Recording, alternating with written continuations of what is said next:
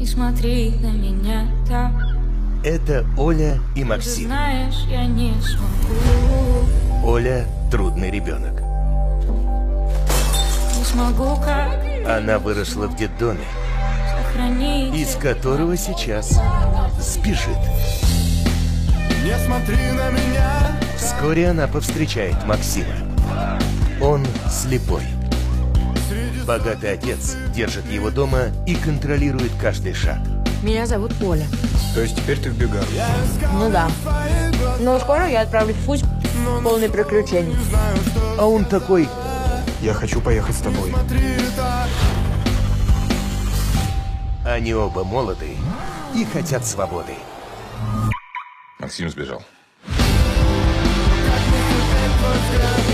Папа, я не помню, когда я последний раз спал. И я все еще не хочу вернуться обратно. А где твоя мама? Ты никогда не пытался ее найти? Пускай живет своей жизнью.